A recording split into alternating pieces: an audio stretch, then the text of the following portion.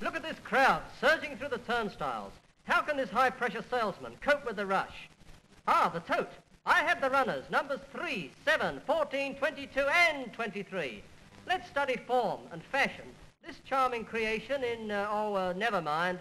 Hey, where are you taking those dogs? Oh, it's the parade. Sorry. Number 16 looks trained to the minute. The tote is fully mechanized and could handle thousands of pounds an hour, but she doesn't. One and fourpence on the black, please. Here's the body. I mean the hare. It's attached by a rope to this motor wheel and is dragged round the track. It's carried by the senior steward. Where have I seen those feet before? They won't trust anyone else with the hare. Thanks, I don't want to buy it. Putting them in the kennels, I mean the traps. The excitement is intense. That wheel is going round. That must mean, yes, they're off.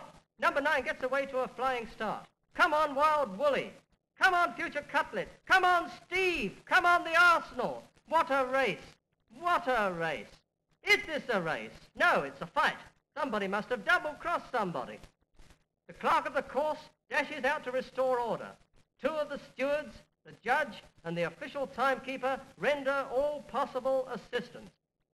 Sworn statements are being taken from all parties concerned. There'll be an inquiry into this, you mark my words.